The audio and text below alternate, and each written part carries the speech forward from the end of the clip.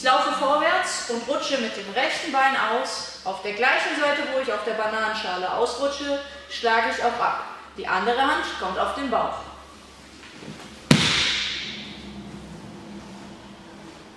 Genauso links, rutsche aus, links abschlagen und kontrolliert zu Boden.